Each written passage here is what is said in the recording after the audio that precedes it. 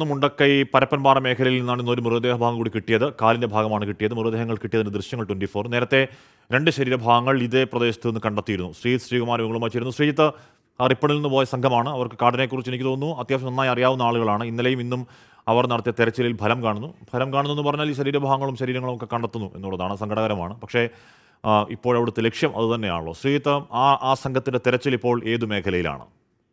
മുണ്ടക്കൈ മേഖലയിൽ തന്നെയാണ് പരപ്പൻപാറ മേഖലയിൽ തന്നെയാണ് ആ തെരച്ചിൽ ഇപ്പോഴും പുരോഗമിക്കുന്നത്. എന്തായാലും ആ തെരച്ചിൽ തുടരുകയാണ്. അതിനിടയിലാണ് മൂന്ന് ശരീരഭാഗങ്ങൾ അത് രണ്ട് കാലുകളും ഒരു ചെറിയ കാലും എന്നാണ് ഏറ്റവും ഒടുവിൽ നൌഫൽ. ആ റെസ്ക്യൂ ടീമിലെ ഒരംഗമായ നൌഫൽ നമുക്ക് നൽകുന്ന വിവരം. നൌഫലിന്റെ വിവരം അനുസരിച്ചാണെങ്കിൽ അവിടെ ഇപ്പോഴും തെരച്ചിൽ തുടരുകയാണ്. ആ മൃതദേഹഭാഗങ്ങളുടെ ദൃശ്യങ്ങൾ കൂടി നമുക്ക് ലഭിച്ചിട്ടുണ്ട്. അവർ അവർ എടുത്ത് ആശുപത്രിയിലേക്ക് ഫയർഫോഴ്സിനെ ഏൽപ്പിച്ച് ആശുപത്രിയിലേക്ക് മാറ്റാനുള്ള നീക്കങ്ങൾ ആരംഭിച്ചു കഴിഞ്ഞു. അവിടെ നെറ്റ്വർക്ക് പ്രശ്നമുണ്ട്. അതുകൊണ്ട് തന്നെ അവരുമായി പലപ്പോഴും ബന്ധപ്പെടാൻ കഴിയുന്നില്ല. ആ സംഘം ഇപ്പോഴും രണ്ട് സംഘങ്ങളായി തിരിഞ്ഞ് രണ്ട് മേഖലകളിൽ തിരച്ചിൽ നടത്തുകയാണ്. അവിടെ കൂടുതൽ ശരീരഭാഗങ്ങൾ ഉണ്ട് എന്ന് തന്നെയാണ് മനസ്സിലാക്കുന്നത്. എന്നാലും രണ്ട് ശരീരഭാഗങ്ങളും ഇപ്പോൾ ആശുപത്രിയിലേക്ക് കൊണ്ടുപോയിട്ടുണ്ട് എന്നൊരു വിവരമാണ് പ്രാഥമികമായി നമുക്ക് ലഭിക്കുന്നത്. ഹാഷ്മി.